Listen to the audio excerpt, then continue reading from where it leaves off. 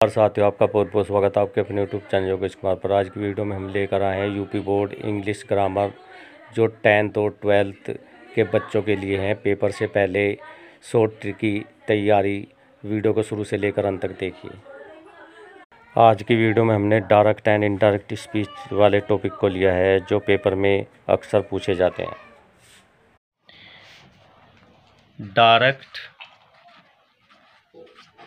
Indirect speech अब इसमें पहला नियम है, यदि वाक्य में सैड हो तो ये कहीं में बदल जाएगा टोल्ड इस पर बनाते हैं, जैसे, Ram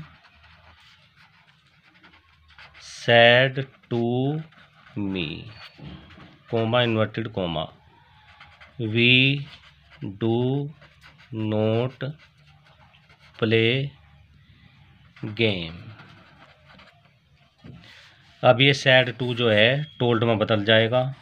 राम टोल्ड और मी और इसकी जगह डैट आ जाएगा कोमा इन्वर्टेड कोमा और ये वी जो फ़र्स्ट पर्सन है, राम के अनुसार बदल जाएगा तो यहाँ क्या आ जाएगा? ही और डू का हो जाएगा did not play game second. अब Ram. Said. To. Her. Comma लगा के इन्वर्टेड कोमा। जैसे आ गया, डू यू लव। बाद में क्वेश्चन मार्क ये अब ये सैड टू आपका जो है, टोल्ड में नहीं, आस्कड में बदला, क्योंकि सिंगल इंटरोगेटिव वाक्य है। तो ये हो जाएगा राम। आस्कड, हर, और यहाँ लग जाएगा इप इप या वेदर में से एक। अब यू यू जो है सेकंड पर्सन है, किसके अनुसार बदलेगा? हर के अनुसार बदलेगा। तो यहाँ क्या हो जाएगा? सी लव्ड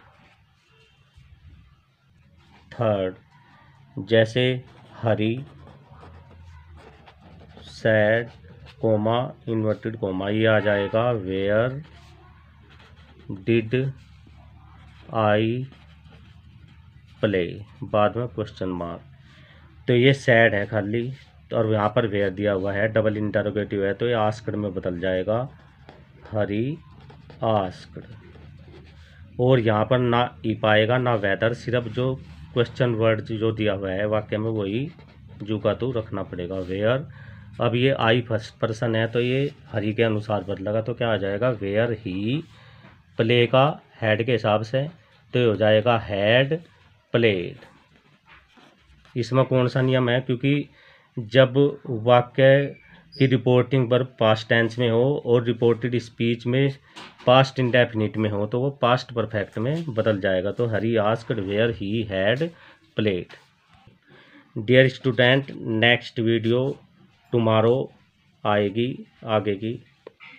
थैंक्स ओके हो फ़िलहाल आज की वीडियो में इतना ही। मिलते हैं नेक्स्ट वीडियो में नेक्स्ट टॉपिक के साथ। तब तक के लिए धन्यवाद। जय हिंद, जय भारत जय भारत।